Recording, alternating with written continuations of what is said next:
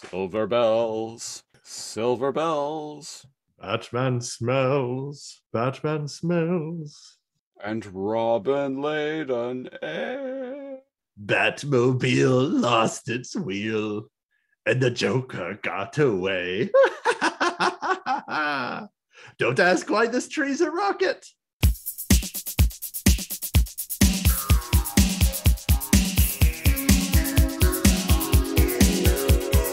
Laser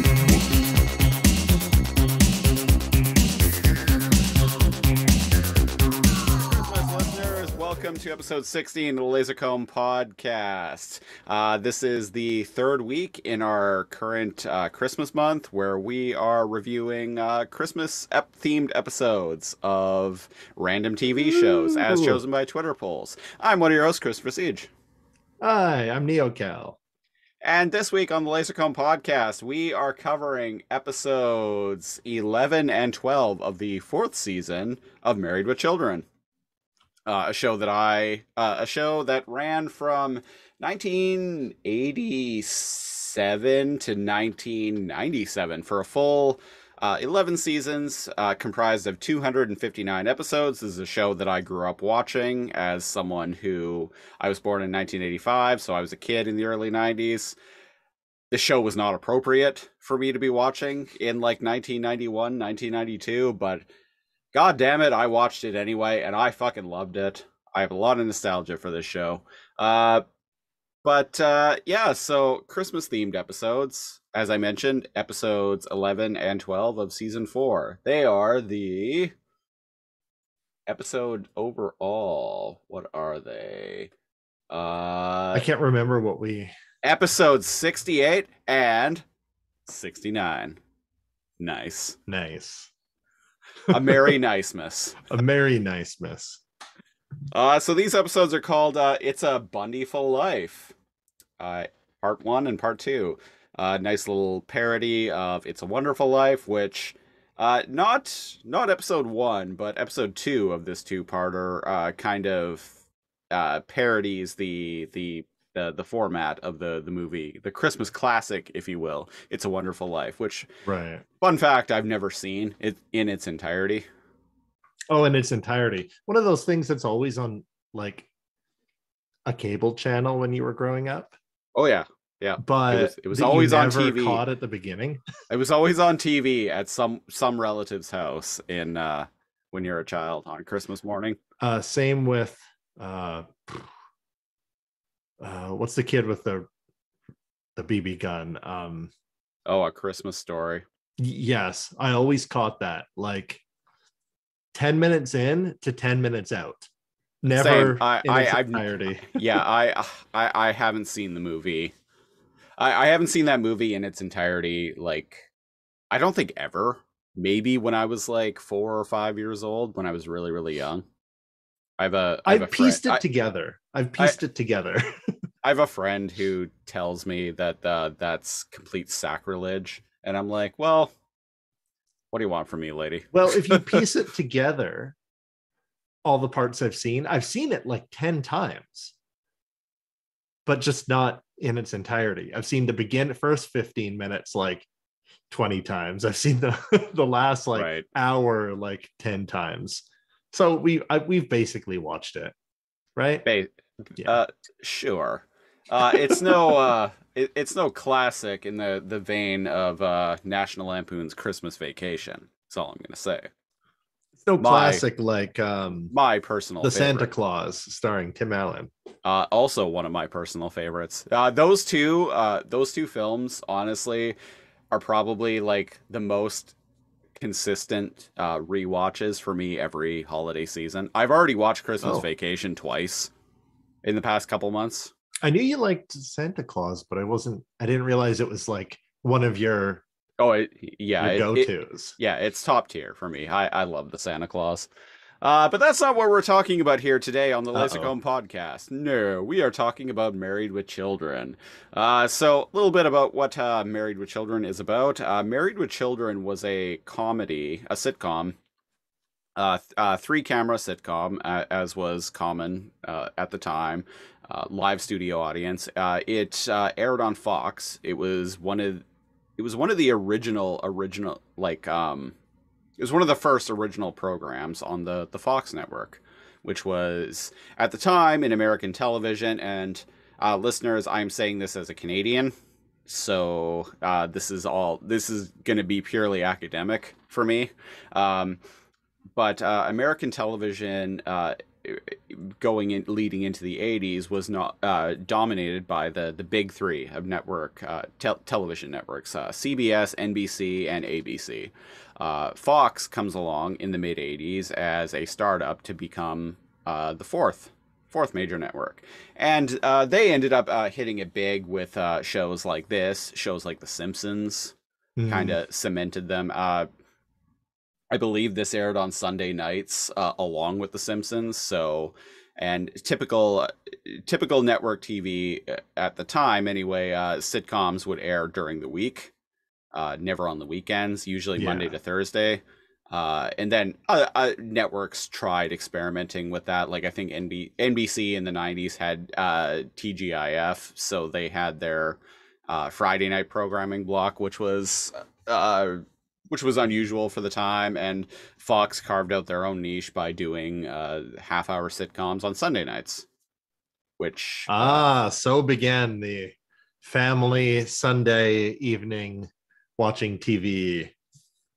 Uh, which which uh, still continues to this day. Like I think uh, The Simpsons and Family Guy and like new what, episodes are uh, Sundays. yeah yeah uh, any of uh, Seth MacFarlane's like 50 other shows that he has going on at any given time. Uh, all air Got a lot of projects on Sundays. Yeah, yeah. Um, uh, show was a show was a big hit. It was very controversial because uh, if if you go back, like it's the show's kind of tame by today's standards, especially when you start looking at like a lot of comedies that we see on uh, on cable networks. But for uh, network TV, free network over the air television, especially for the mid '80s, the show was was quite uh, the the content being presented was quite unusual. To, to get like crass like kind of PG-13 level content on free uh, American family yeah. television. Um, I love this show. Uh, I loved it when I was a child. Uh, off air, Kal had mentioned that this show was just a little beyond him when he was a child. But oh, it me, wasn't beyond me. I just didn't sorry. like it. Oh, fair enough. Um, I absolutely adored this show when I was a kid. Like I, I have a lot of fond memories of being like seven years old in 1992, watching this show in prime time, like at my grandfather's house, uh, while my mom and my grandma were off like playing bingo. yeah, for, I guess thing. it was just um it was like kind of slow and predictable and everyone's just mean. There were just just losses and no wins and I didn't have time for that. I had video games and like bikes to ride and like rocks to throw at other kids, you know. Uh, yeah, yeah. I mean, like I I had those things too, but I just I I gravitated to toward this show. Um, I come from a very uh, a, a very mean spirited family, mm. just hmm. in general. They, they they'll never admit to it, but they're all pretty mean spirited people. Um, and I think uh, I, I even watching this now, like I just uh, rewatched these episodes uh, maybe two hours ago uh, prior to recording. Even now, watching this show, like I, there, there, there's something about it that I just connect with.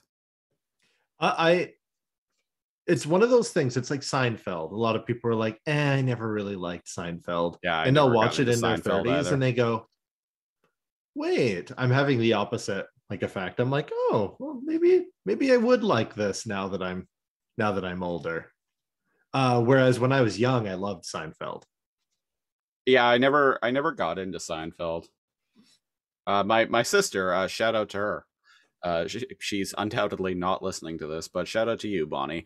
Uh, she's a big, uh, a big Seinfeld fan. Oh, is she? Yeah, yeah, yeah.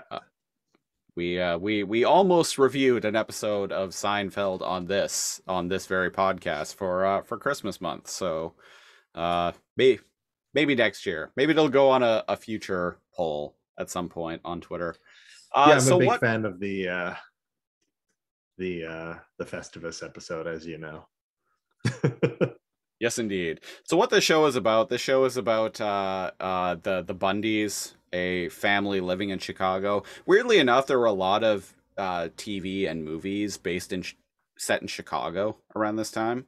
Like oh, Roseanne. the '80s, every even movies. Yeah, Roseanne, another sitcom from uh, that uh, aired around the same time as uh, Married with Children, was also set in Chicago. The Home Alone movies were set in Chicago. Home Alone, um, uh, Breakfast Club. Yeah, I, I'm not is sure. In, is in Chicago. Yeah. yeah, I'm not sure what it was, what the fascination with Chicago was in uh, in American media in the 1980s. But uh, well, uh, so yeah, it's about the Bundy family. Uh, lower middle class family living in the uh, living in the suburbs of Chicago. Uh, uh, the the the patriarch of the family is uh, Al Bundy, uh, played by Ed O'Neill. He's a uh, women's shoe salesman, and they like their house is kind of gaudy and like not. It's kind of ugly looking by design, of course. But like, I kind of wonder though. I'm like, how does a women's shoe salesman who they joke makes like minimum wage frequently throughout the series? I'm like, how the fuck does he pay for a house that big? Like it's ugly and it looks like shit, but it's a pretty ah, pretty damn big house. Hello, dear millennial. um my aunt supported like she didn't have a her partner her partner was in uh just wasn't wasn't there and um right. supported uh my grandma her mom. So like and her two kids. Two story house big ass backyard. Don't know what to tell you. That's just how it used to be my dude if you're somewhat responsible with but i i get your point though like it, his it wife doesn't work what what what is the quote? It, it it isn't always like they say it is, but sometimes it do. People don't think it be like it is, but it do. But it do, right? Actual quote from a uh, uh, uh former uh, uh, Major League Baseball player. That's my favorite. Actual uh, thing he said on uh, he said in a newspaper newspaper article when he was being interviewed. I looked into this a little while ago. I was like, yeah. wow, Wow, that Let's was an look actual into thing. The, the meme behind the the dream. Uh, the meme behind the so, dream. yeah. So, uh, what? So so yeah so uh yeah yeah you said his his wife uh Peggy who is paid, played by um uh uh Katey Sagal who would later go on to be the voice of um Leela Leela in Futurama uh, a show you're very fond of I believe very uh, my uh, my partner walked in when I was watching this earlier, and it's just like, why is there? Why does she sound like I'm like Leela from Futurama?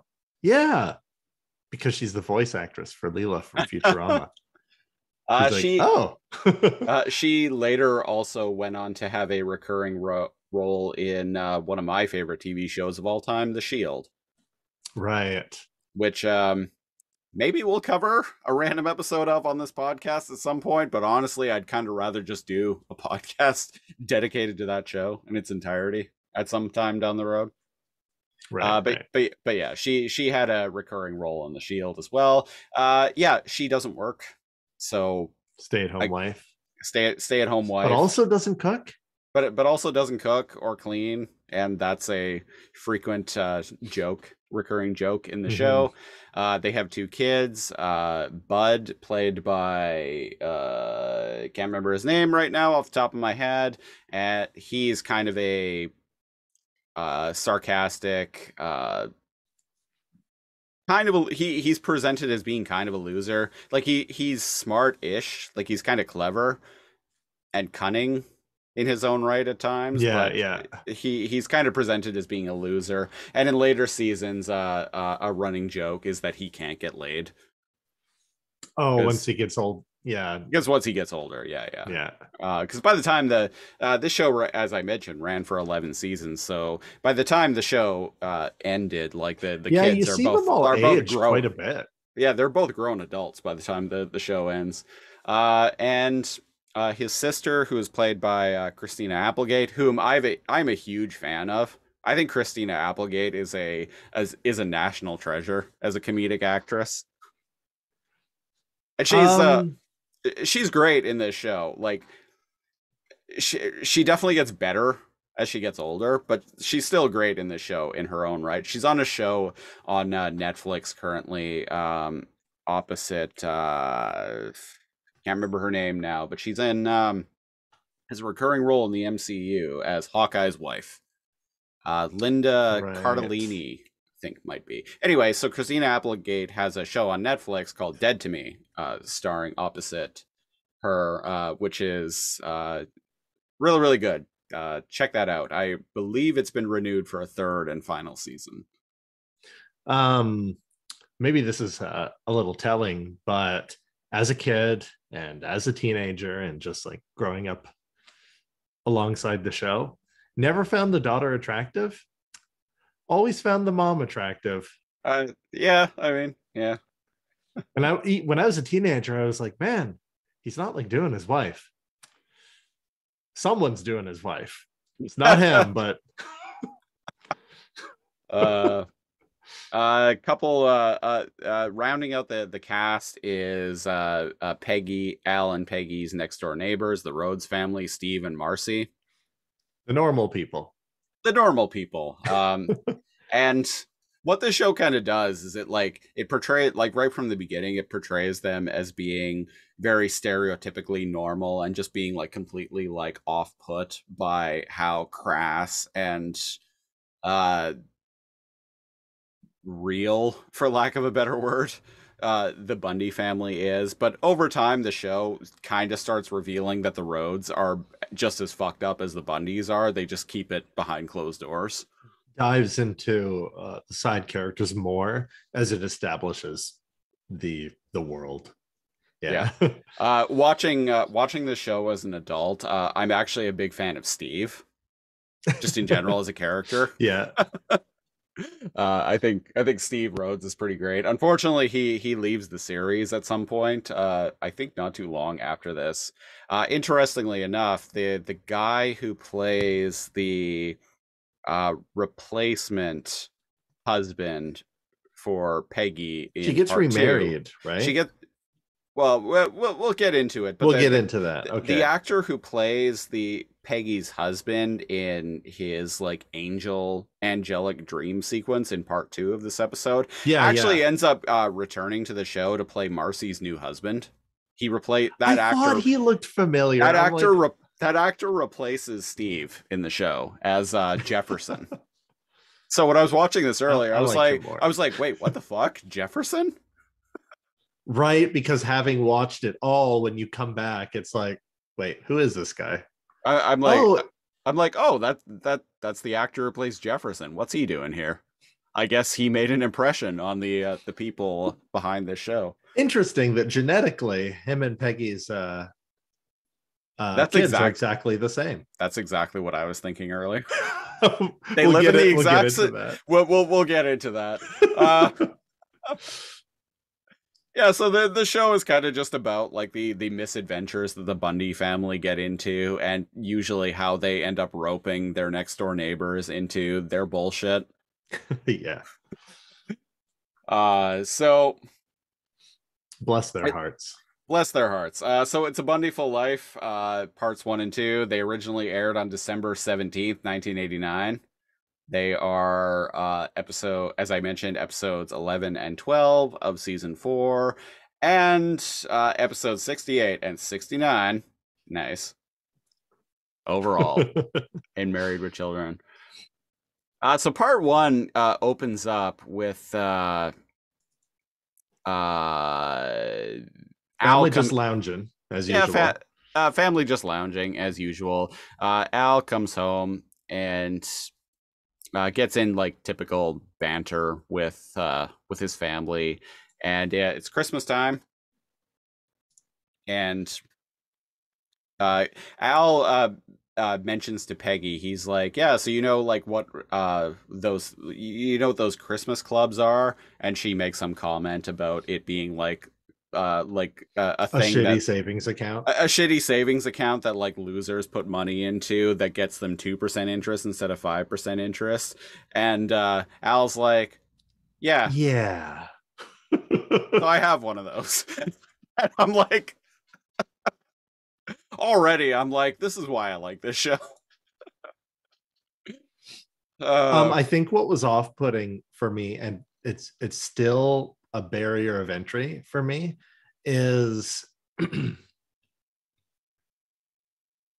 it's the the the show revolves around constantly digging at each other to such an extent that it starts to border on the very unrealistic for me. Like it's just joke after joke after joke after joke about to be fair, to each other. to be fair, when I was watching this earlier, I'm like, this is a very uh, abusive and toxic family environment. but there's, but like a lightly one. It's just they keep it up. but, uh, but to me, there's just there's something really relatable about all of this. Which I mean, I guess that says something about my family life. But The real, the real abusive or toxic, um, like family is a lot more stressful and less like jovial. This is like lighthearted, like ribbing, but constant. So Right. I, I found it a little. Um, it's like people complain about Family Guy having like the same joke and like running with it too long. That's kind of like the entirety of uh, Married with Children. That is a complaint that I myself have of Family Guy. I have that same uh, problem with South Park as well. Uh, I don't have that issue here with this show. Yeah, it's uh it it is here in it is here in broad strokes. Um when's the last time you watched South Park? Uh, I watched their pandemic special last year. I I did not. Uh, I've been told to go and watch it. Uh, I thought very little of it, if I'm being perfectly honest. Take that South Park. No, but um I I apart from just I'm not just here to complain about it. Um I liked like I, I found myself enjoying this. And I was like, "Oh, and I would not have like 10, 15 years ago." Um, so, well, uh, to give you an idea how much I enjoy this show, I actually own the entire series on iTunes.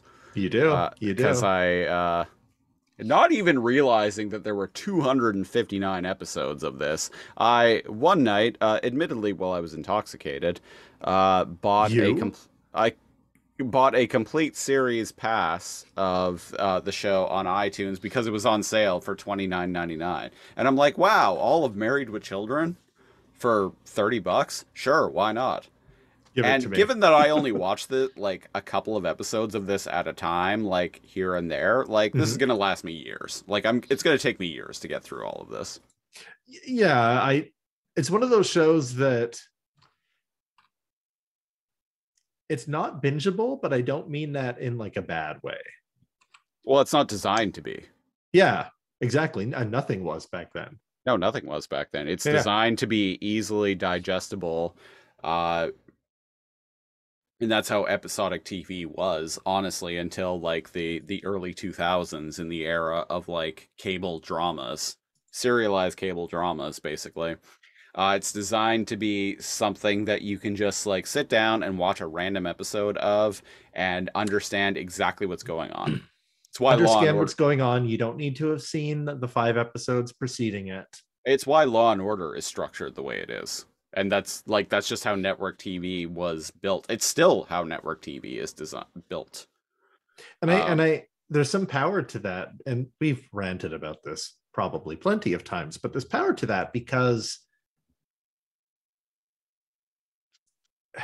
sometimes you just want to watch something and it be a whole story Right.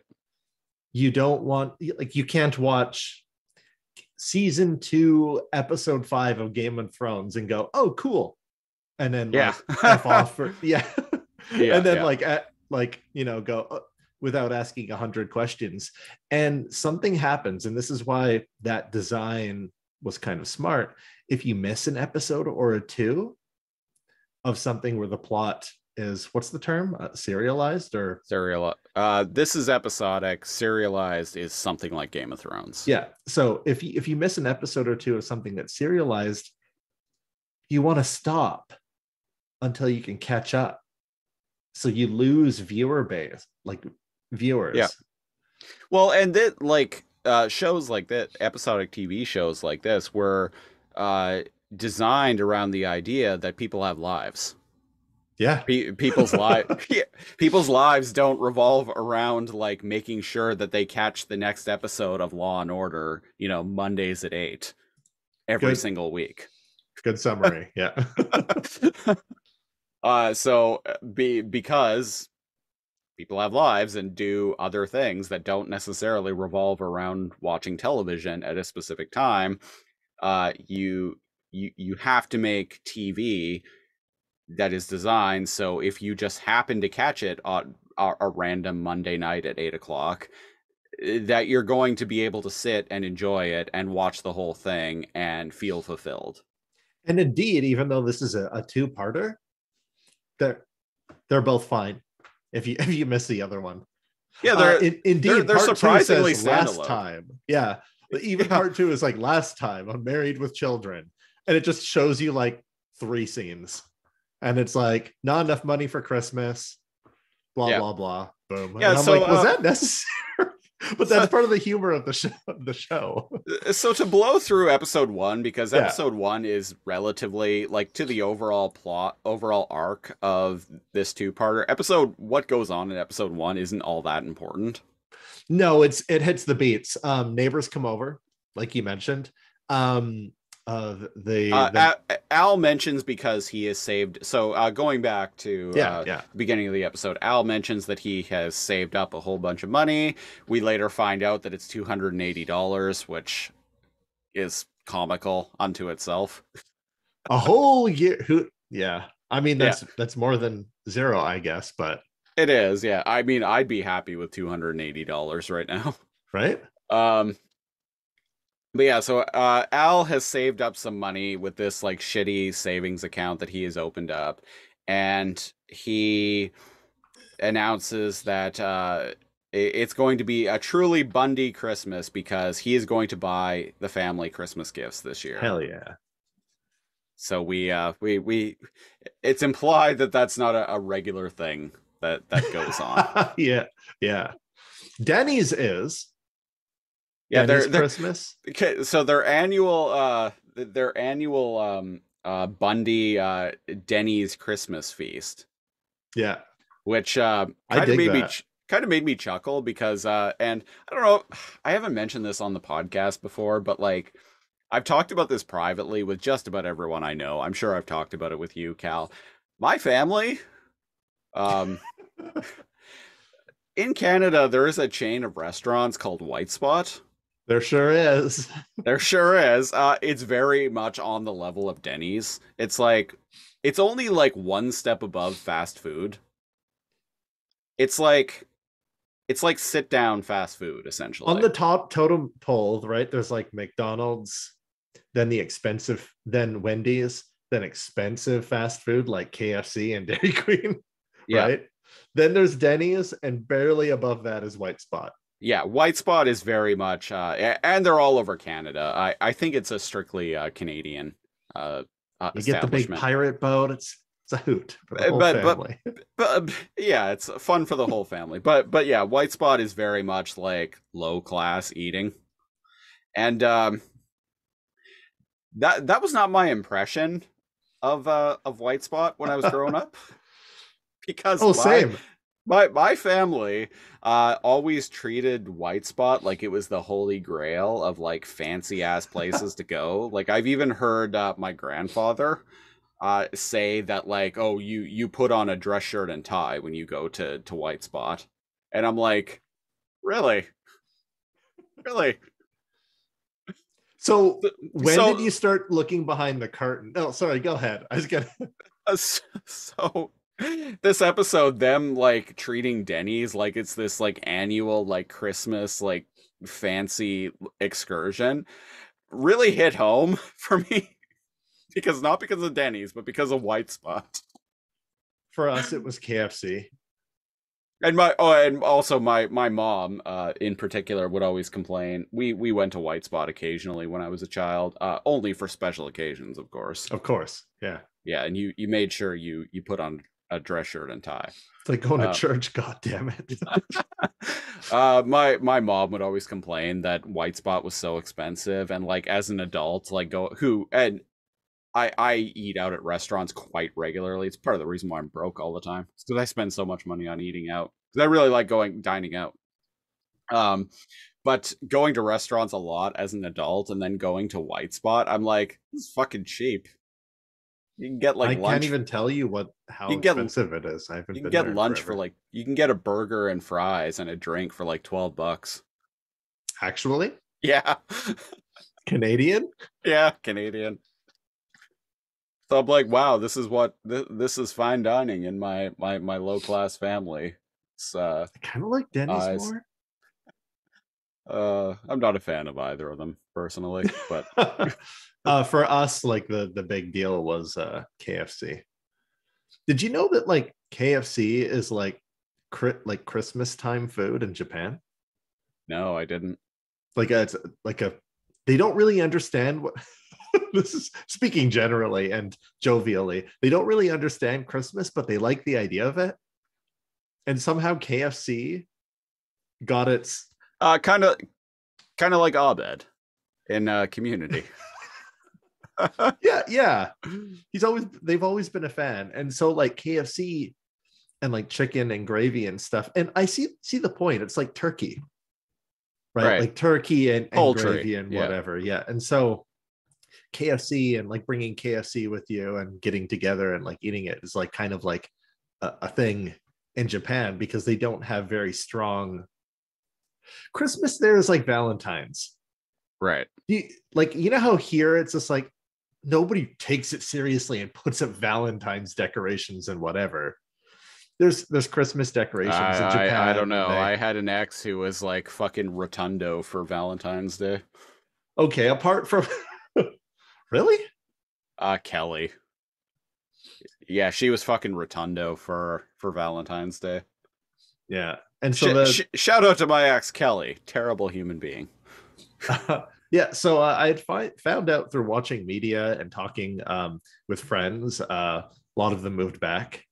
Um, so very doubtful that they're watching this but uh risa uh moiko hello.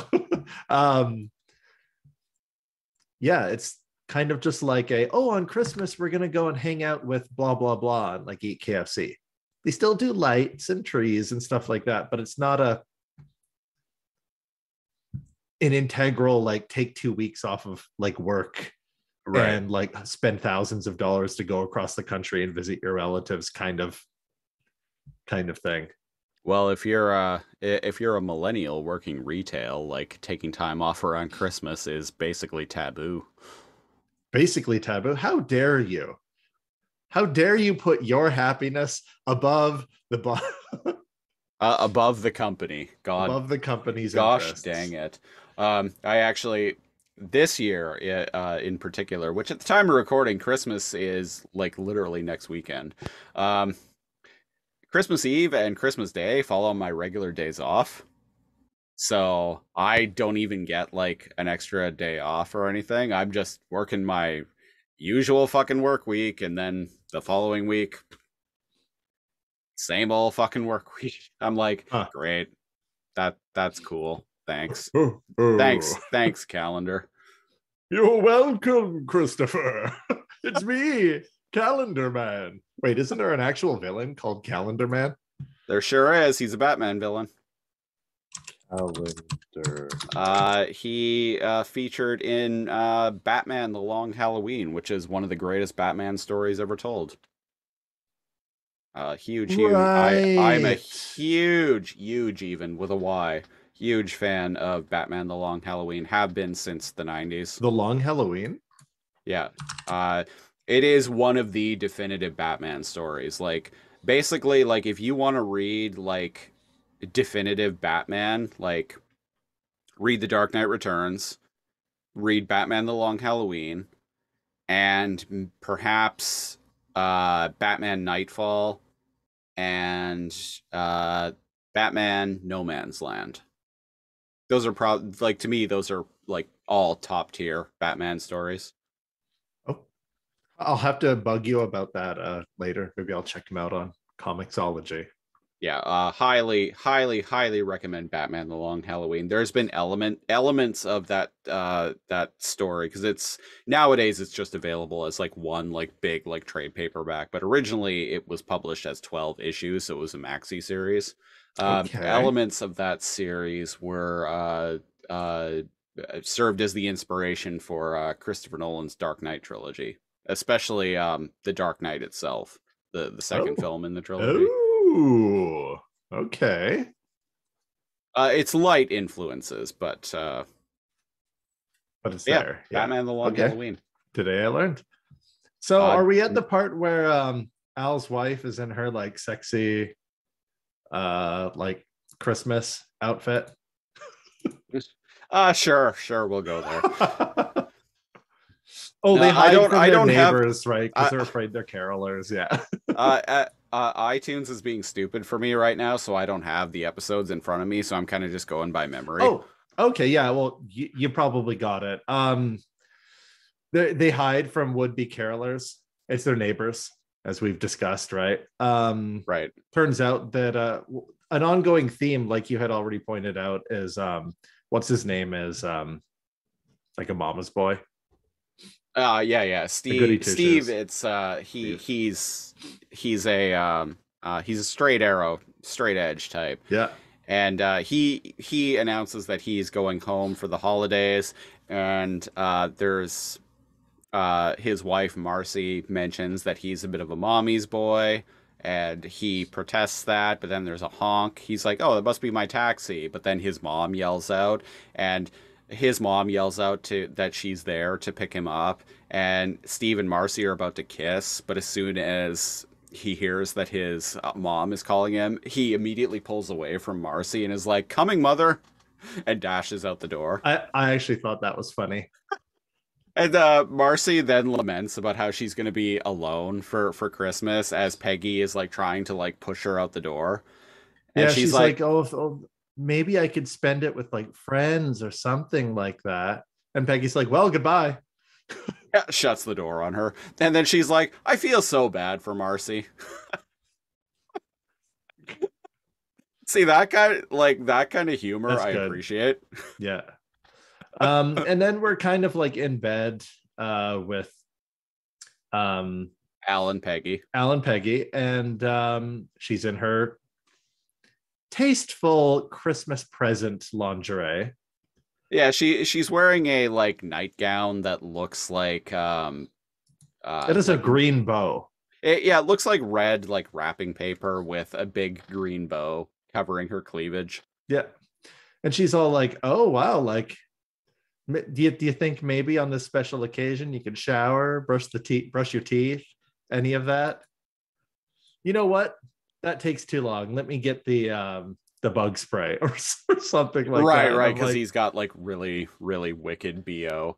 Um, Al, so to in order to to uh, get all of these presents that uh, Al wants to, or Al is planning to to buy for his wife and his kids, uh, he needs to go to the bank. But before we get there, um, uh, I think Peggy like goes into the bathroom or something like that. She she she goes off off camera, and oh, uh, when it, when his kids come, yeah, yeah. So so Bud comes in the room and is basically like, uh, yeah. So uh, I I know that you are probably struggling to to figure out what to to buy for your kids, but just so you know, uh, uh, Kelly actually doesn't love you.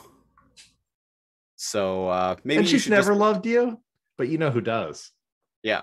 This So, guy. ma- So so maybe you should just buy gifts for me. And then he fucks off. And then uh, Kelly comes in. she knocks, and Al immediately is like, "Yes, Ke- come in, Kelly," because He he, just knows, knows. she's coming. Yeah, I like that. Uh, so she comes in and uh, comes up with uh, uh, she she takes a slightly different approach. She's like, so I I just found out that I'm sick, and The uh, doctors called and said I'm dying. what what is it she says she's dying of? Um, t- she And she says she doesn't say it's terminal. She says it's terminus. Terminus. She's dying of terminus. But but she she says that she's dying of a like particular illness, and she says the doctors Bulgaria. Bulgaria. Right, right. She says she's dying of Bulgaria. So fucking the. She I she's forgot the dying of ongoing theme is she's really dumb. yeah yeah. Yeah. She so she's dying of the nation of Bulgaria. Doctors say it's terminus, and the she only has until uh. Christmas morning to live, Unless she- but she will be cured if she gets a two hundred and eighty dollar Christmas gift. Yeah. Yeah. And So- besides, and then she throws in for good measure. And besides, like, Bud doesn't love you, I do.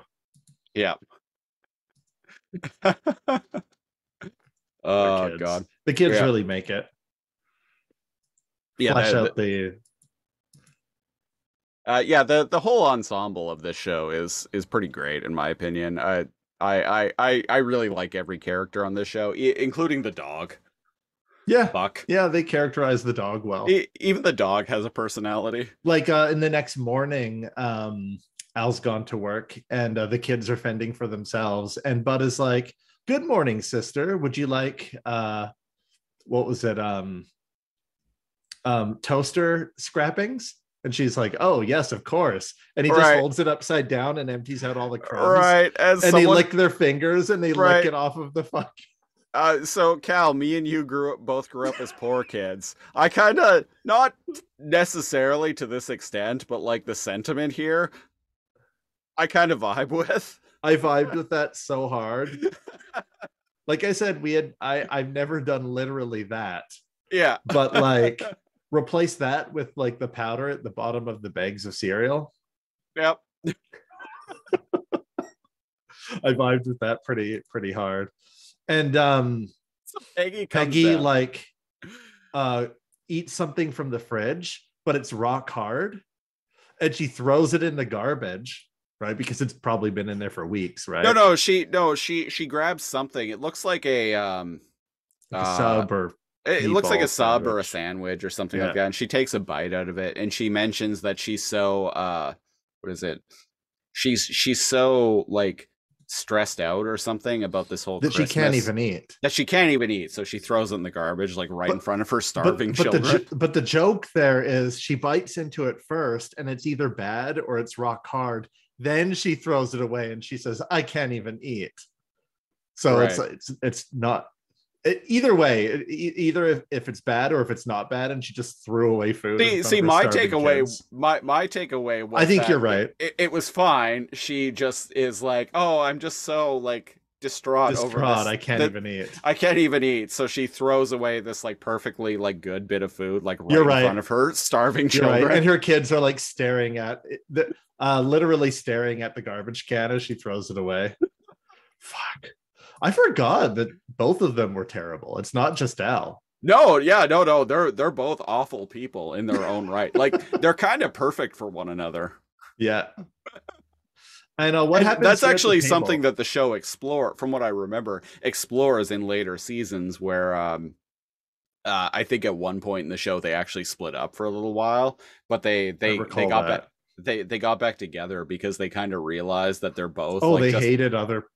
Yeah, they're- else. they're they're both just as awful as each other and they they they they realize that they both like hate other the same people equally like they both hate everyone equally They're both easygoing and they hate other people, and other people don't jive with them or they take it too personally, and everyone Right. else just sucks. Yeah.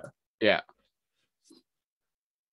I always forgot that um she talked about uh Peggy talks about sex and we- wears like house robes and and stuff like that very openly around her own kids. yeah in the in the the scene we were just talking about where she like throws away the sandwich uh she's got some cleavage going on Yeah. Which even when I was watching this earlier, I was like, God damn, woman. Yeah. and she makes sexual comments about her husband, um, you usually woefully, uh, in front of her kids all the time. Um, and then later on, when they get older, they they absolutely jump in on those sexually inadequate jokes, jokes too. Yeah, just because. Um, the the there's a joke later on that uh, Al makes that like really, really, really, really made me laugh. It's when he's uh, uh, witnessing his family uh, when he's with the the the angel. Oh, but, well, I know.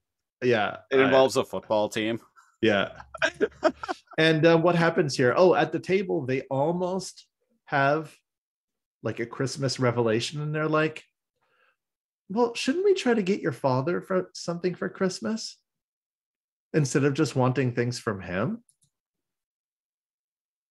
and uh, I think Peggy says that that just um, that just seems like too much work or seems too stressful or something. Oh, that seems too stressful, and the holidays aren't supposed to be about that. Yeah. Now, where's your father so, with his pre- with the present? So they're, they're they're all just really selfish people. Yeah. it, it's kind of amazing. Um. So all right, let's boogie uh, so to, to the yeah, store. Yeah, yeah. So so to to move along. Um so Al uh he's uh, at work. He, he's at work. He he gets delayed. Uh he he's doing a closing shift at the women's shoe store. He gets delayed because a bunch of customers come in and um uh, the the crux here is that he needs to go to the bank to take out all this money that he has this two hundred and eighty dollars in the savings account that he yeah. had in the savings account, and so because he gets delayed, he's late getting to the bank, but he gets to the bank like right at closing time.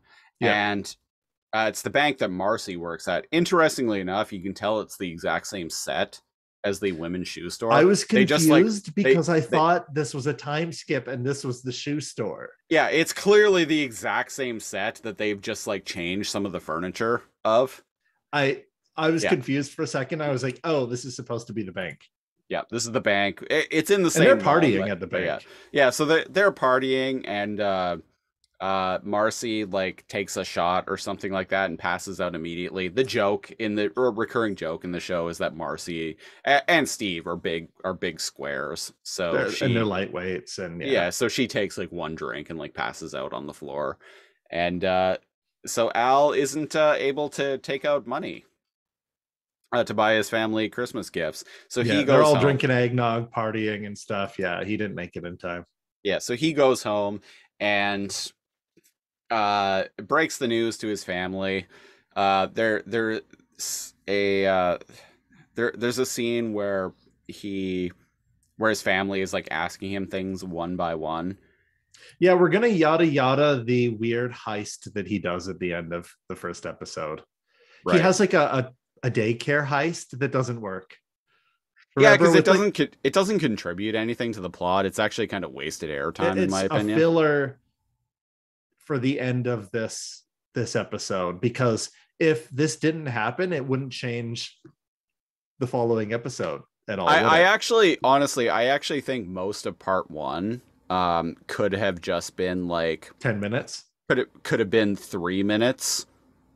I mean, the, uh, I feel like a lot of begin- this show is uh, like of the that. beginning of I well in this two parter especially, and maybe it's just because oh. the show. It, maybe it's just because the show is designed for a very much a twenty five minute like half hour sitcom structure that uh, a lot of part one especially just feels like wasted airtime. Episode. It could have definitely been one episode. You could Agreed. have had you could have had all the crap with um uh with Al not being able to take the money out of the bank and yada yada. You could have had that take up like the first like three minutes of an episode and then just focus the rest of it on him like dealing with stuff with the angel because that's kind of the most important part. Curious. Now I'm wondering why it was in two parts. Uh, well, it aired as a what? It actually originally aired as a one-hour special on uh, December seventeenth. So it aired as a like uh, a oh, Christmas okay. Special. They aired together yeah, it aired as a Christmas special on uh uh on Fox in 1989. Uh, okay, December 7. Holy shit. So it originally I think I mentioned this at the beginning of the episode. It originally aired on December 17th. Ladies and gentlemen, the time of recording, we are recording this episode on December 17th of 2021. There you go. So this We- aired that happens 32 years us. ago today. this aired 32 years ago today. 32 Crazy. years exactly. Yeah, to the day. Um not the first time that has happened on this podcast either. No, weird, weird. Very Stars very line up a lot here in Lazor And- Comb. and a, a, as I, I know I've mentioned this before, but I love weird coincidences like that. Like I'm I'm here for it. I dig it. Um. Anyway, so too. Yeah, so he lets his family down. Uh, he's they tackle him when he comes home. they tackle him when he comes home. There's like a um. They they grill him about what's going on, like where the presents are, and he's just like, "No, I don't have them." And then uh, his family is like disappointed in him, and he's like trying to. It, we cut away to the end of the episode where he's trying to uh, put up Christmas lights, or he's trying to get Christmas lights turned on. he makes a joke. He's like, "Hey," he plugs it in, and literally only one light comes on I and love he's that. like and he's like he's like uh and i'm paraphrasing but basically he's like you leave these goddamn things up all year round and you need them to work one night. And this is the day that they don't work. Just and so just- that they you can turn them on one night of the year and they don't even work. yeah. And i i love that. Just uh, never take them. I, I grew up around people who just left christmas lights up all year round because they were out of laziness. So I yeah, I I I, I appreciate that. that's some. yeah, I, I feel that. Yeah, yeah. Um so yeah, and he he's all like, "Oh, I wish I was never born." Much like the the uh, main character in It's uh, a a Wonderful Life. And uh, indeed, um, I can't remember how he does it, but he electrocutes himself. He electrocutes him. He grabs a, a knife because he's trying to like pry, I think pry the Christmas light, like a staple off to like pull the Christmas lights down. Yeah, And he ends up uh, elect- uh, electrocutes himself, and he's woken up by who I thought at first was Meatloaf. No, so I looked this guy up because, um, as I mentioned, this show has a live studio audience. I don't know why I thought it was Meatloaf. The show has a live studio audience, uh, as was very common with um, with sitcoms at the time. So the crowd went nuts when this guy comes on screen, as was really common with live studio shows. Like anytime there's a noteworthy guest star that the audience recognizes, they all like start applauding and going crazy. So I'm like, I don't know who this guy is, but he's obviously someone noteworthy. So I looked him up. Uh, this man's name was uh, Sam Kinison. Uh, he actually died on April 10th of 1992 at the age of 38.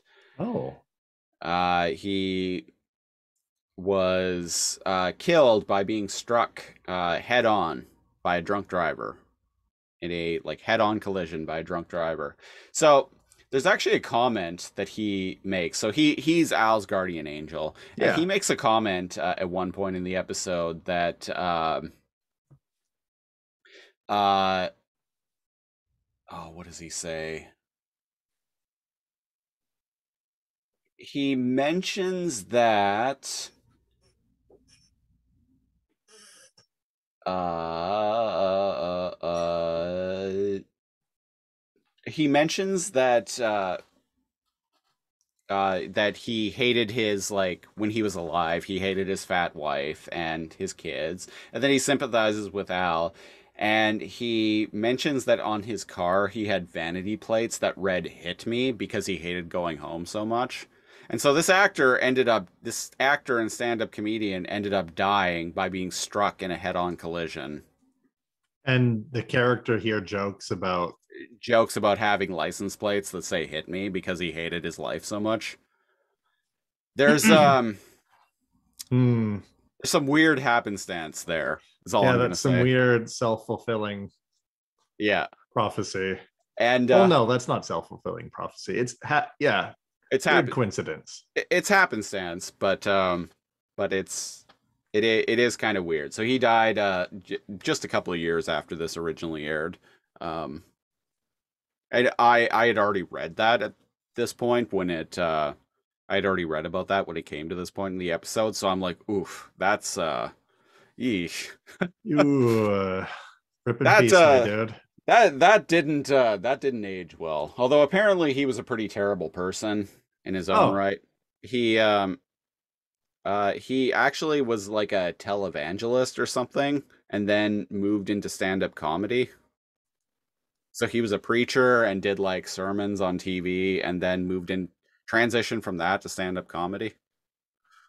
Uh, and he he made a lot of uh, misogynistic and homophobic jokes, and apparently was just kind of awful to to uh, women around him. So, So rip maybe- in pieces, my dude. rip rip in pieces. There you go. There you go.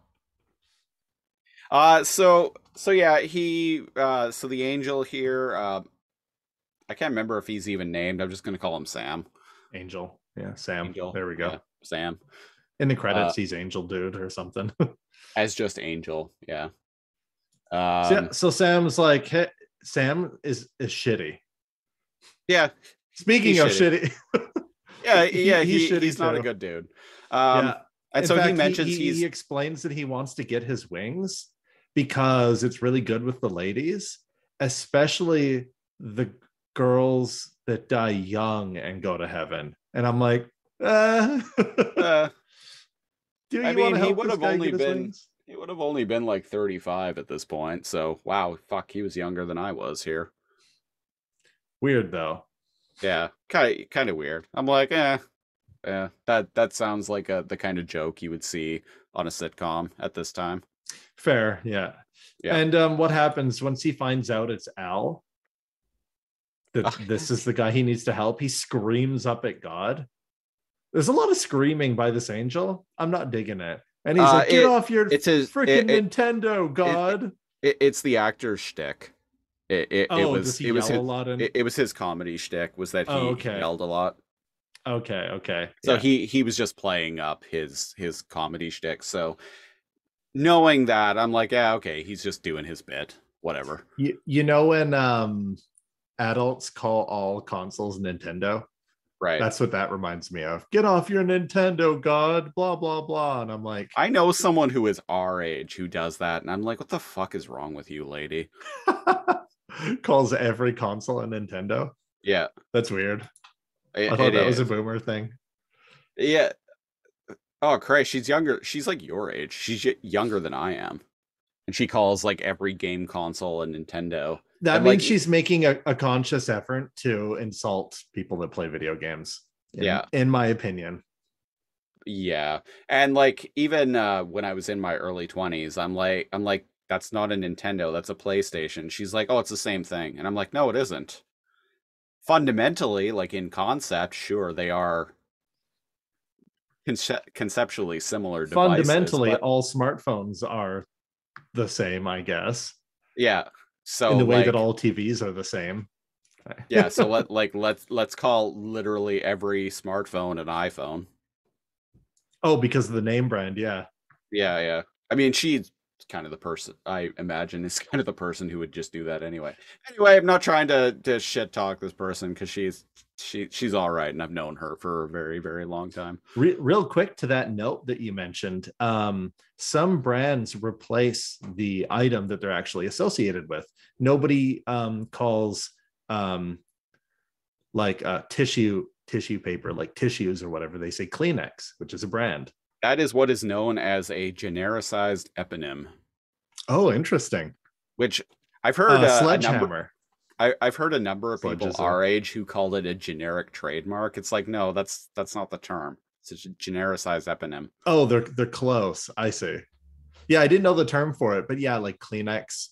They just call all uh, tissue paper uh, band band-aid, Band-Aid. uh, Band-Aid, I think is yeah, I think Band-Aid is probably like one of the best examples of that.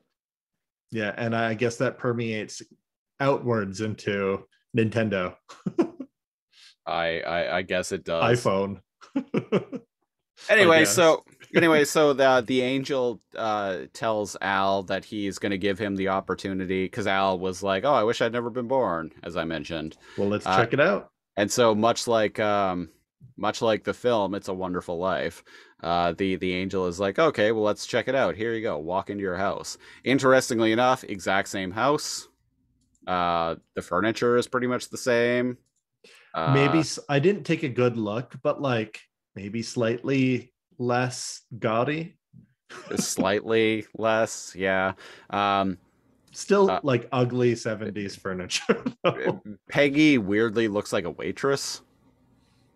Yeah, she's supposed to be she's supposed to look like a 50s housewife. right? Yeah, but but to But me, she kind of looks like just a looks like a, di- a a diner waitress. I can see that. Yeah. Instead Like of a- her hair being big, it's still beehive-ish, but Yeah.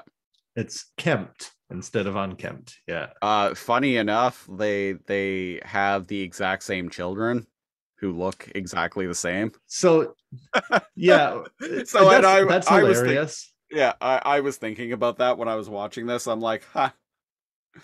Uh, but let's not take this show too too seriously. and their names are the same. their names are the same. Yeah. Yeah. Yeah, So let's not take it too seriously. But so what's the deal? Uh, Bud is a nerd. Uh, he stands up for women. Uh, he faces off against bullies. He gets straight A's. He has glasses. yeah, so you know he's smart. yeah, smart people have glasses. Everyone knows that. Yeah, uh, and um, I mean, he I'm cares about his them, so- family. Yeah, he That's cares right. about his family. Um, uh, Kelly comes home, and Kelly, um, you had uh, mentioned, she comes home from college. yeah, you you had mentioned like not finding uh Kelly hot in this show. Mhm. Um, the outfit she's wearing in this in this scene, um, and like the way she has her hair done, I'm like, okay. No, still Peggy. I'm like, uh, the, in this, uh, and I was like, wait, how old was she when she did this episode? I need to And she- Google this before I can make a comment on air. I, I need to Google this, and she was like in her like I think mid twenties at this point, early to mid twenties. so I'm like, okay, woo, Ooh. dodged a bullet. No, uh, the uh, innocent um, schoolgirl thing, uh, unless it's a MILF doing some role play, doesn't uh, doesn't do it for me. Uh, Peggy wins this round too. typically doesn't do it for me either, but I do kind of like the uh the cute academic look. Oh, okay, I, I see what you mean. There's kind of like her hair is in a bow. You know, she's wearing like the, He's the wearing sweater. like plaid and yeah, Yeah. Uh, and their dad comes home. Uh, uh, so, uh, so, uh, uh, Lady Glitch, co-host on uh, our other podcast, Alphanumeric. Uh, if you're watching this, take notes. That's right. B22 and star on a TV show in the early 90s. Uh, so,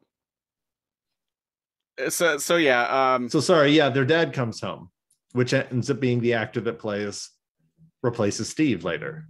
so, uh, yeah. Before before we Oh. get into that, uh, Bud uh, uh, makes a comment to to Kelly, which I did find was kind of weird. He's like, "Oh, are you still frigid?" That's not the right term. Thank thanks for pointing that out. Yeah, Um, yeah, it it, it seemed weird? really awkward. I'm like, one, like that's a weird com like thing to talk about with your sibling anyway. But like so I think he meant like, are you still celibate? That's a yeah, that, Which- that but it's- that that is a nicer way. But that's still weird to talk to your sister about. It is oh, weird. sister, have you engaged in sexual intercourse with men at college yet? Yeah. Fuck off, you weird little creep. Uh, and so uh, she was like, yeah, uh, yeah, yeah, I'm saving myself, blah blah. And Peggy makes the comment that uh yeah i saved my myself for marriage or whatever. And al is like there with uh with sam and he was like he was like oh come on. They uh uh she she was railed by the football team so much they retired her jersey number which made me laugh.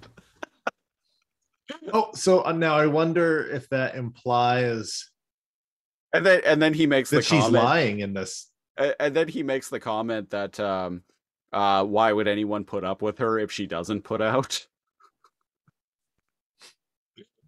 Uh, but then So i'm like which made again made me laugh like actually made me laugh out loud but then also it's like Okay, but like a, a recurring joke in this show is that you don't want to bone your wife. Yeah. So so yeah, there's So a, a- you married her because she's a slut, but then you don't. so so so you her. say that no one would want uh, to be with her unless they could bone her, but then you're with her and never bone her, and that's a recurring joke in this show. So there's a little bit of a cognitive dissonance there going on. Yeah. Um yeah, yeah, so the the dad comes home and he is played by uh uh Ted McGinley who would later go on to uh star in this show as uh Jefferson Darcy who ends up replacing uh Steve Steve Rhodes on the show after uh the actor exits and uh, I think he goes. I, I think the character of Steve, if I recall correctly, he runs away on Marcy and like goes and lives in the woods or something like that because he has like a mental breakdown. Oh, that's how Um, they got rid of him. Yeah, he he had a few like guest appearances later on in the show where he came back and uh but yeah, I think he ran off to live in the woods was how they wrote him out of the show. But uh uh so Marcy ends up getting accident like unwittingly remarried because she gets really drunk one night and like goes home with uh this dude Jefferson and uh turns out they had a drunken Vegas wedding which- Nice. Common sitcom joke, but uh, as someone who has been married, it's a lot more complicated to to to do the thing than uh, TV makes it out to be. you can get um, you, you can elope in in Vegas. Uh, it's still more of a process, though. Like it's not it's not as quick of a Oh, it's not- process You- as you, uh, got to sign things and you as TV and and- movies make it out to be. Like yeah, it's not a thing you could just take care of like in an hour on your lunch break. Yeah, you got to. uh Yeah, there's still signing of papers. There's still uh proof of. It takes it, it takes like uh, for me anyway. It took like a month of preparation. Hmm. Yeah, um, I actually knew people that eloped in Vegas, and they were married by uh, Elvis himself. Wow. Definitely not an impersonator. The the uh, the the the the man himself, the king, if you will. Yeah, they were married by the king, baby. And uh, yeah, they did that in like an afternoon. So kudos so- to them. Well, uh, are they still are they still together? Yeah. Oh, well, good for them. yeah.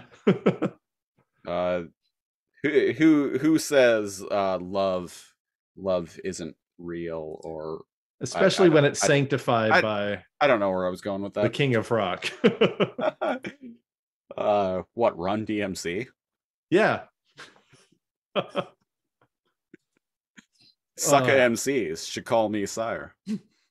so what's the, the moral of the story here? Um So basically, okay, their, so their life let- is so good that the angel So, that the yeah, angel so let's blow through it. So Yeah. the, the the crux of this uh this whole shtick is that their lives are actually pretty fantastic without Al, which I found quite hilarious.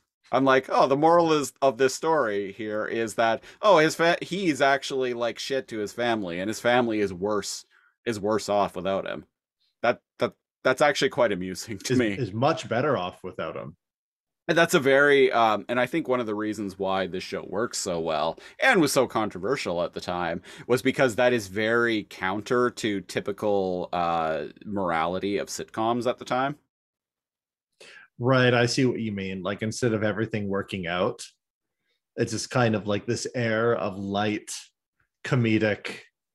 Everything's bad, but uh, you know what? They still have each other. Well, and it's yeah, yeah. There, there's like a level of like uh, jovial cynicism to this show that you wouldn't. There we go. Jovial cynicism. that that you just didn't see in television at the time and it's what one of the reasons why this show works so well in my opinion so yeah so his family is much better off without him and um uh the, the sam Angel it- Sam.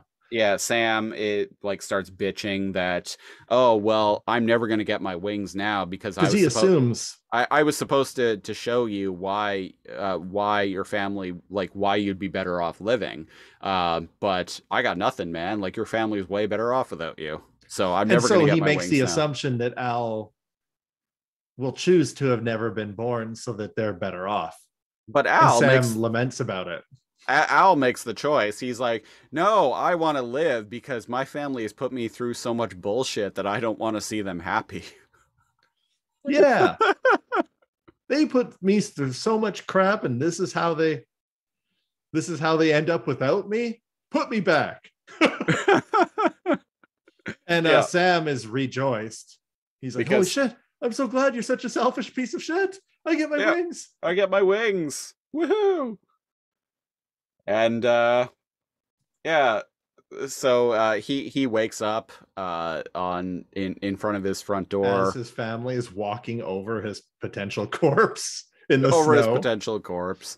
And uh he he they um oh earlier I, I forgot to mention they decided to go to uh to denny's without him oh, because- because he had showed up with no presents. because he had showed up with no presents and no money but he's like oh well uh uh, uh peggy is like well well i have eight dollars so that'll be enough money for uh, three of us to get meals at denny's and so they leave without him but it turns out they Oh. didn't go to denny's at all uh No. th- they um uh they went to like what was it i don't know something like the spud house or something like that like the the christmas potato special at the spud house Yeah. something something like that. Anyway, so they come back and um, uh, basically talk about how Al has ruined Christmas for them once again, and Peggy does her typical, and this is a thing that comes up on the show a lot. Uh, Peggy does her typical "Thank your father, kids" line, and they're like, "Thanks, Dad." yeah. Whenever he fucks things up, Uh, oh yeah, yeah. That that's a recurring thing. That I, I it, it like is that. a recurring thing. Yeah, And as they're stepping over his potentially lifeless body, they close the door, and then Al comes in behind, right behind them. yeah, Like they don't even leave the door open for him. And when they had left earlier, he was mid conversation with them when they like closed the door. yeah, Because it's like, oh, we only have enough money for three of us to eat. And so Al, assuming he's going, he's like, well, since I'm the breadwinner of the family, I guess I get to choose who doesn't eat. And and they just leave without him. yeah. Um, but yeah, it's um when he comes back into the house, he grabs Bud and he's like, Bud, Bud, quick, um, making sure that it's actually him. What's more important, love or money? Right. Yeah, and Bud is like, Oh, well, that's easy, money, because you could always just rent love.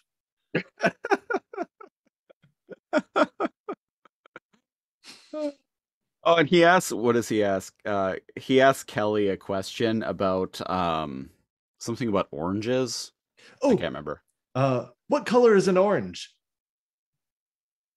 And, and she, Kelly's her like, answer is like, uh, mul- Do I have multiple choices? multiple choice. Uh, and then like later Or do you on, just want me to answer off the top of my head? and like later on, she like chime at the end of the scene, she like chimes in with something. Um, Excuse me. yeah, it's uh, yeah. Anyway, that that that's the episode basically. and they all sit on the couch and lament about another uh bad christmas as bud does what he did at the beginning and is like got straw packages up his nose or something Right. Yeah, yeah. Thank your father, kids. Thanks, Dad. yeah Um, and then it ends with like sam uh, al hearing sam talking to god at the gates and he's like okay i'm back open up the gates right, right. I forgot about this. Uh, yeah. What it what does he say exactly? um they're like oh well we need to see your uh, he's talking to himself as if he's having a conversation but we only hear sam and he's like what do you mean you need to see my um my passport it's in my luggage you lost my luggage ah and he just screams which as you have told me is like that comedian's like shtick. Yeah, he just yeah. like gets angry and screams Yeah.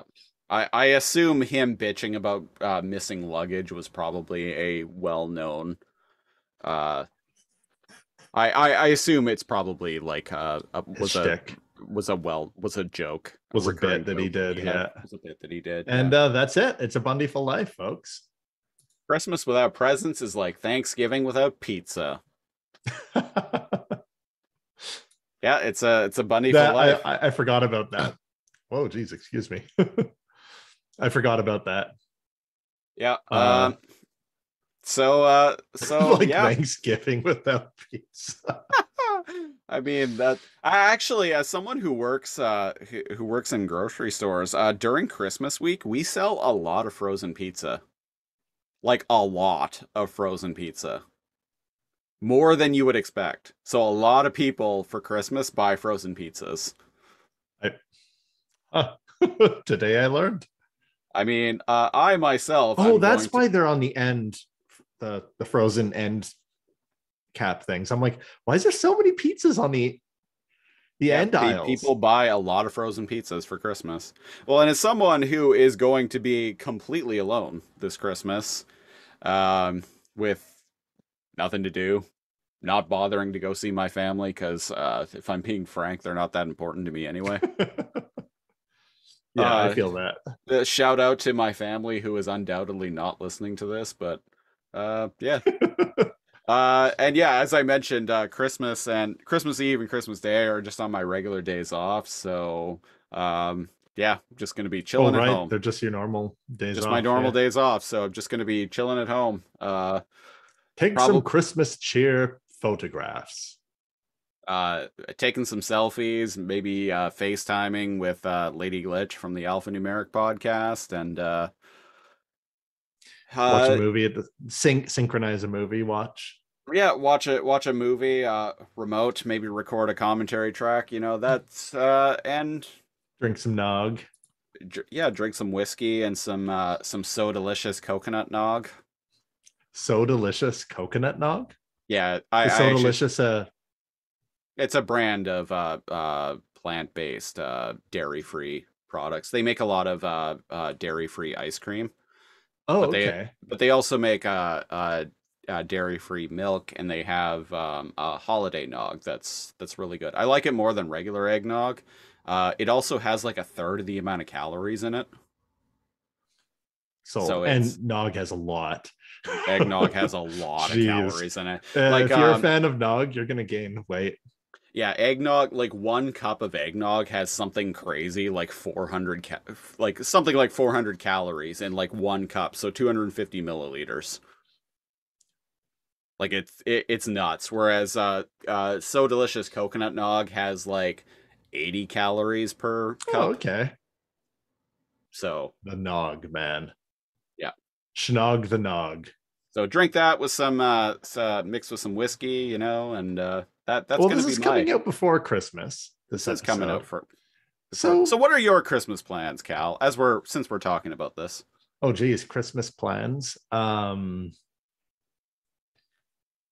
falls on the weekend, you mentioned. Yep, Saturday. Probably- Saturday. Go see my partner's family and um Right. do something along those those lines. Yeah. Um my partner's mom is an incredibly good cook, the opposite of Peggy. and um she always goes like over the top it's like tons of different like foods um from different like types of nationalities of cuisine and always has leftovers always has dessert always has like sparkling like cider of some kind so oh, Pro- nice. probab- that's probably like in the works if i had to guess uh but if other other than that probably yeah like watching a christmas movie um i know that grand theft auto online always has like a christmas like weekend where there's Hmm. snow everywhere and you can throw snowballs at each other and the traction for vehicles is absolutely god awful because there's snow on the ground a lot of I don't know why I mentioned that. too. yeah i don't know why i mentioned that because like i haven't played gta online in like years and years oh i saw there's there's a new chapter out for gta online and dr dre is in it that's why i know that that's why it's on my mind You know, Halo Infinite has been out for over a week now, and I still haven't played it. The the campaign. I haven't either. Multiplayer- I haven't The multiplayer has been out for over a month now, but the campaign came out on the eighth of December. But uh, uh, I was kind of occupied. what Uh, but I I still haven't got to it. Uh, yeah. may- maybe this weekend. Maybe it's one maybe- of those things. I had NieR Automata like for like two years. And then when I finally played it, I was like, where has this been all my life? Sitting on the shelf. yeah, I'm gonna try to get to, to Halo Infinite uh, this week. Anyway, that's neither here nor there. Um, what are you doing, dear listeners, for for the holidays? yeah, let us know in the comments when you're listening. It's probably to cooler than what watching we were this doing. in like in like July of 2023 or something. yes, like let that. us know what you have planned for the holidays in July 2023. Ho ho ho. Uh, anyway, that was episode 16 of Lazor Comb Podcast, where we uh, covered uh, uh, uh, episodes 68 and 69. Nice. Of uh, Married with Children. uh, best way to support the show, go to Patreon, patreon.com slash lazorcomb, L A Z O R C O M B, where if you subscribe to the $10 tier, uh, you get to pick a show for us to, to do this and talk about. Uh, we've Straight we've up had- just pick. Yeah, you can just pick, and we'll we'll cover. A, we'll still uh, put it through our random number generator to pick what episode it is. The but, uh, the the episode is random, right? the episode's random, but you can pick whatever show you want. There are the only rules to that are uh, the show has to be over and it has to be narrative based, so no reality shows, no game shows, etc., etc. Um, we we've discovered some real gems so far with that, uh, including Dark Oracle and Fighting Foodons. Uh, Fighting Foodons, especially, uh, I'm quite fond of. Shout out to our patron uh, Jared for uh, for picking that show. And uh, I, also I shout out to at how well that was written. also shout out to to Jared in general because he he sent me some uh, some heartfelt uh, messages on Patreon recently uh, in Yeah. regards to some some life stuff I've got going on, uh, both good and bad. So uh, Mhm. yeah, shout out to him. Uh, shout out to all our patrons, really. Um, shout out to to Kay, our twenty five dollar patron, Game Sprite Mode. She's been with us for a long time. Yeah. Uh, Thank you that we we get a little bit of the the disposable income, and by we I mean the expenses that put this this out there. Yeah, the Um, the uh the uh, I'm at a point now with Patreon where uh, I'm kind of breaking even. So that and that's kind of all I all my goal was. Where like where you can't treat it like a job because it'll No. fail. Yeah. yeah, yeah. So now I'm like, oh, okay. So with Patreon, I'm like, okay, I'm breaking even. So now podcasting is literally just a free hobby for me, essentially. To get it to get it get it out there. Yeah. Get it out there. Yeah. Maybe so- some young person will find this in 20 we joke about like somebody listening to this in 2045 Yeah, and being yeah. like what the hell was beast wars also shout out to uh uh shout out to other patrons. Shout out Yeah. to uh bemused horseman. Shout out to oh bemused horseman's been with us for for a long time yeah, yeah, uh shout out to uh willowberg. Shout out to uh lewis. And anyone else who has been a patron before or will be a patron in the future thank you. Yeah thanks. And uh merry christmas. Happy holidays. All of that stuff. Uh go to uh for social media go to facebook.com slash lazorcomb central hub for this and all of the other shows that we do. Uh and uh follow us on twitter. I am at lazorcomb l-a-z-o-r-c-o-m-b once again is how you spell it. Kal you are also on twitter yes? Yeah Neo Kal n-e-o underscore k-a-l Uh, we will be back next week with the final installment of our Christmas month, and then we're going to be taking a break from podcasting for the rest of the year. Uh, I put up a Twitter poll and uh, four choices of a show to review a Christmas episode of, just as I did with this. And what ended up coming up was this. What ended up winning the poll was the Super Mario Brothers Super Show. So i'm sorry i forgot to vote i'm we're not supposed i Yeah, I, I, I, have some alternate accounts. I could rig the process if I wanted to, but I, I, I am a legitimate journalism. Damn it, God I am an it. ethical. I'm an ethical podcaster here, so I, I try not to to to rig it. yeah uh, too much. I, I, I, I also enjoy the like kind of like throwing it to the fates, essentially. and it's still choosing four so Yeah, ideally none of them are something you loathe right yeah. Uh, so super mario Super, Mario Show. Brothers Super Show. We'll be back with um I'm not even gonna bother looking up what episode it is now. I just know that there's a Christmas episode of it because I found a Christmas episodes uh, wiki, uh, wiki that lists, uh, which is what I've been drawing from for all of these, uh, all of these Christmas themed episodes. What a gift! Whoever whoever's painstakingly put their heart and soul into Doing wiki, Not doing God's work, doing Santa's work. doing right. Santa's work, Yeah. checking it twice. Uh, so yeah, we'll be back next week with uh, a Christmas themed episode of the Super Mario Brothers Super Show. Um, and uh, yeah, until then, I've been one of your hosts, Christopher Siege. And I'm Neo Kal. And until next time, thanks for listening. Merry Christmas, Happy Holidays, Happy Merry Yule, Happy Hanukkah, and uh, keep your stick on the ice. Keep your stick on the ice, and uh, I hope that you have a Festivus miracle. That too. And uh, Enjoy your Denny's feast. enjoy your Denny's feast or White Spot. If you're if you're part of my family, enjoy your your your White Spot uh, Christmas miracle. Or KFC if you're from Japan. And so uh, yeah, so you were so you're going to so you're going down to White Spot the other day. That's still running, otherwise, we would have covered it. Yeah. Oh, I, I I'm glad that you picked up on that. Yes, uh, big fan of Letterkenny. Uh, when that show ends, you best believe like we're we're gonna be fucking probably like the week after it ends. Like we're gonna be talking about Letterkenny on this goddamn podcast. If you have no idea what Letterkenny is, go Google it and watch one of the cold opens. Yeah, if you're you're Canadian, it's on Crave. It's produced by Crave. If you're American, it's on Hulu. So, uh, if you're from elsewhere in the world, well, BitTorrent is your friend. it is. Uh, anyway, bye bye. Bye.